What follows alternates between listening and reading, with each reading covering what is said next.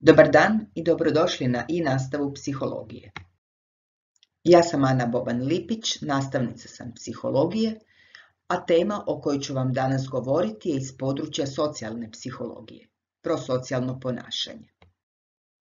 Da biste aktivno sudjelovali i usvojili sadržaje ovog predavanja, pripremite bilježnicu i olovku ili Wordov dokument. E, ikona mozga s utezima označava da je predviđen zadatak za vas i na tom mjestu možete zaustaviti prezentaciju i riješiti ga. Treća ikona označava ponavljanje sadržaja i zadatke za razmišljanje i istraživanje. Na početku evo i prvog zadatka za vas. Pogledajte fotografiju dječaka koji leži na cesti i prosi. Zapitajte se što biste vi napravili u toj situaciji. Biste li se zaustavili i pomogli mu ili biste jednostavno prošli? Ako biste se zaustavili i dali mu nešto novaca, kupili hranu ili možda nazvali centar za socijalnu skrb, vaše ponašanje je prosocijalno. Prosocijalno ponašanje svaki je čin kojemu je svrha ostvarenje dobrobiti za drugu osobu. Svakodnevno smo svjedoci da ljudi pomažu jedni drugima. Na ovom mjestu zaustavite prezentaciju i prisjetite se nekih primjera vlastitog prosocijalnog ponašanja ili primjera koje ste vidjeli u svojoj okolini, slušali ili čitali o njima, gledali u filmovima. Vjerujem da su se mnogi od vas najprije sjetili nedavnog potresa na Baniji i vala humanitarnih akcija koji je odmah nakon toga uslijedio, kao i dolaska ljudi iz različitih dijelova Hrvatske kako bi pomogli u zbrinjavanju stradalih, rašišćavanju ruševina, obnavljanju kuća, opskrbi stanovništva. Prosocijalno ponašanje i volontiranje, darivanje krvi, pomoć starijima, besplatna poduka, akcije zaštite okoliša. Možda su se neki od vas sjetili i naveli poštivanje socijalnih normi, ljubaznost, surađivanje, pravednost, društvenu odgovornost, jer prosocijalno ponašanje širi pojam od pomaganja i uključuje ova i druga ponašanja koja doprinose dobrobiti ljudi na individualnoj ili općoj razini. Socijalne psihologe zanimalo je zašto pomažemo drugima, identificirali su tri glavna motiva. Jedan od njih je održanje vrste, Težimo povećati vjerojatnost da će naši geni preživjeti, pa smo zato brižni prema djeci, rođacima, pripadnicima svoje grupe. Drugi je motiv egoizam. Pomažemo drugima jer nam to donosi neku korist. Emocionalnu, recimo dobro se osjećamo, ponosni smo na sebe, možemo imati neku materijalnu korist ili statusnu u obliku priznanja, titula. Dakle, sebično je motiviran. Treći motiv je altruizam, to je nesebično pomaganje drugima, čak i kada to podrazumijeva gubitke za osobu koja pomaže. Empatija potiče altruizam, a empatija je sposobnost da se povežemo s drugima, razumijemo njihovo viđenje situacije i uživimo se u njihovo emocionalno stanje. Altruističkim ponašanjem mi ne očekujemo da ćemo ostvariti nekakvu korist, pa čak niti dobar osjećaj koji prati pomaganje drugima. Naravno, kad pomognemo, dobro se osjećamo, ali je to posljedica, a ne uzrok ponašanja. E, vjerujem da ste se nekih od takvih primjera nesebičnog ponašanja sjetili u prethodnom zadatku. Ima ih mnogo. Primjerice, e, dobrovoljci Hrvatske gorske službe spašavanja za svoj rad ne primaju nikakvu naknadu u vidu plaće, a sudjeluju u vrlo zahtjevnim, ponekad po život izrazito opasnim akcijama spašavanja. Našoj poznatoj književnici potpuno nepoznata Amerikanka donirala je bubreg. Mediji ponekad izvještavaju ljudima koji su skočili u nabujalu rijeku ili olujno more da bi spasili utopljenike. E, možda ste gledali film o Dijani Budisavljević, zagrebačkoj liječnici, koja je svojim osobnim angažmanom postigla da se preko humanitarnih organizacija spasi 12.000 djece iz ustaških logora. Također film e, Schindlerova lista e, priča nam o Oskaru Schindleru koji je za vrijeme drugog svjetskog rata spasio 1200 židova zapošljavajući ih u svojim tvornicama. Ljudima koji su za vrijeme drugog svjetskog rata spašavajući židove riskirali vlastiti život, ali i živote članova svoje obitelji, Na medalji koji dodjeljuje izraelska vlada i memorialni muzej holokausta Yad Vashem iz Jeruzalema napisana je posveta. Onaj tko spasi jednog čovjeka, spasio je cijeli svijet. Odlikovanje Pravednik među narodima dobilo je oko 23 tisuće pripadnika drugih naroda koji su za vrijeme holokausta spašavali židove, a od toga ih je 104 iz Hrvatske. Pločice s njihovim imenima i kao ime zemlje iz koje potječu nalazi se na gori sjećanja i na zidu časti u Yad Vašemu. Iako je pomaganje drugima dio svakodnevnog života većine ljudi, odluka o pružanju pomoći osobi u nevolji složen je proces i prolazi kroz niz koraka. Da bismo od promatrača postali pomagači, najprije moramo uočiti događaj. Zatim moramo procijeniti da je potrebna pomoć. Zatim procjenjujemo osobnu odgovornost za pomaganje. Primjerice, ako vidimo da dijete leži na cesti, vjerojatno ćemo priskočiti u pomoć, ali ako je to pijana osoba, najvjerojatnije ćemo proći jer smatramo da je ona sama odgovorna za situaciju u se našla. Također na odluku utječe znamo li što treba napraviti, kako pomoći osobi. Ako znamo, onda će uslijediti pružanje pomoći.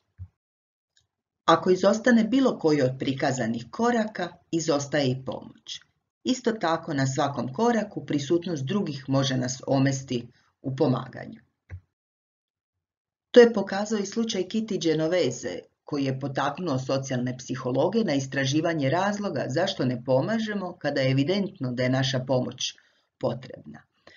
Naime, Kitty Genovese bila je mlada žena koja je ubijena 1964. godine na pragu svoje kuće, iako je 38 susjeda oko 30 minuta slušalo njene pozive u pomoć i vidjelo napad. Tek kad je bilo prekasno, netko je pozvao policiju i hitno.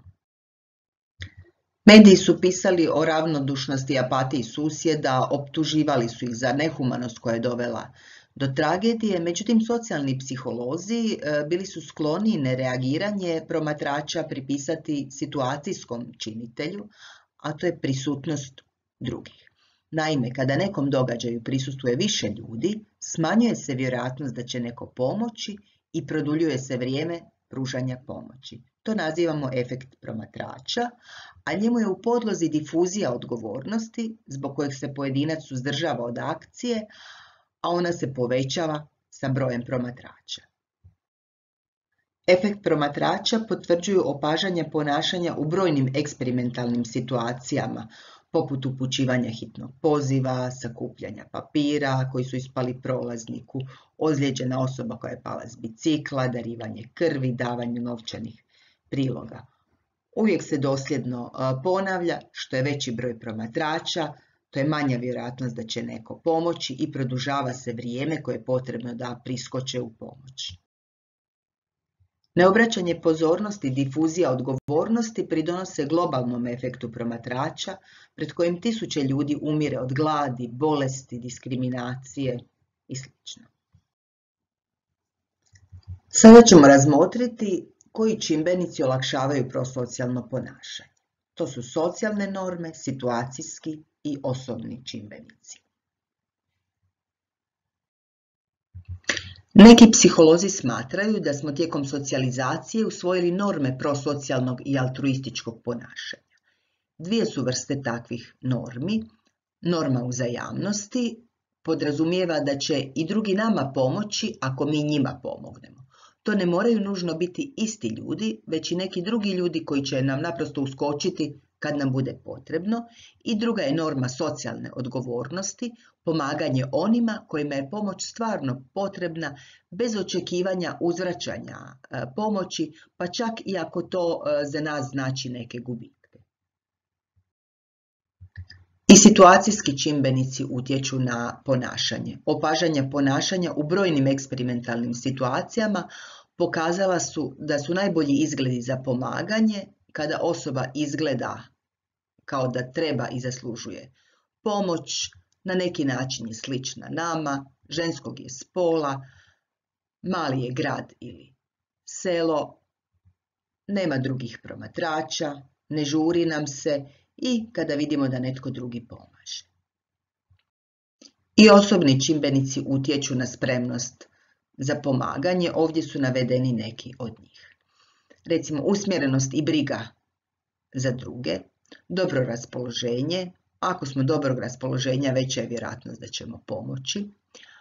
E, također, ako ne pomognemo, javlja se osjećaj krivnje, a pomaganjem ne, on nestaje i vraća nam se pozitivna slika o sebi. Također ljudi koji su istinski religiozni i žive vjerska načela češće daju značajne donacije i angažiraju se u volonterskim i humanitarnim udrugama.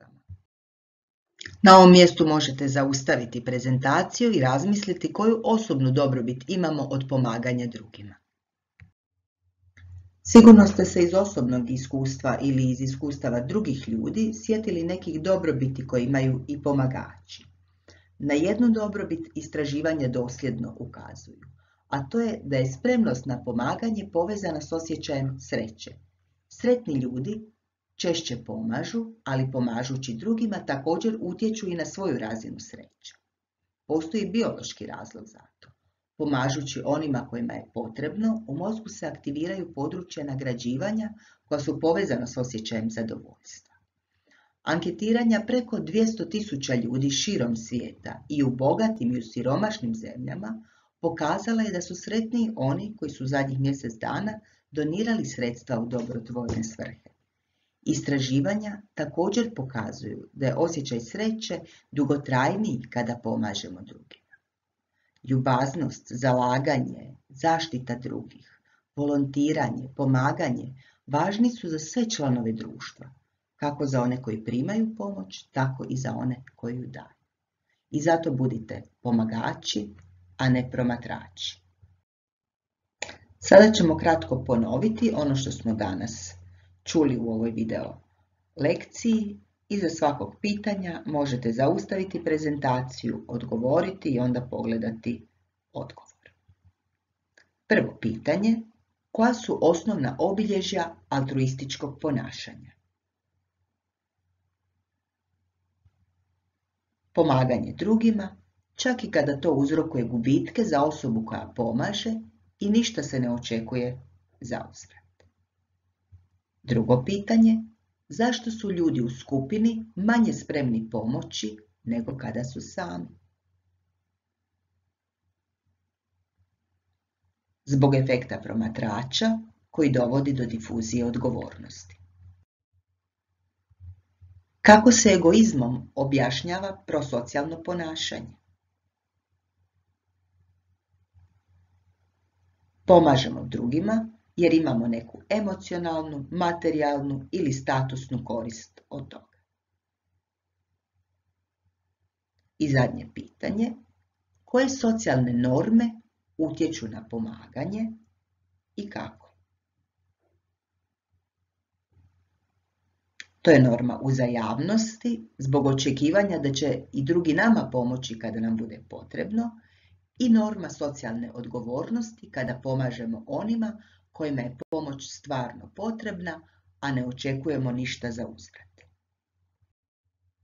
Ako želite dodatno provjeriti znanje o prosocijalnom ponašanju, zaigrajte Kahoot koji je na ovoj poveznici. Ako vas je ova tema zainteresirala, evo zadataka za razmišljanje i istraživanje. Najprije razmislite kako se svatko od vas može svakodnevno prosocijalno ponašati prema kolegama u razredu i školi.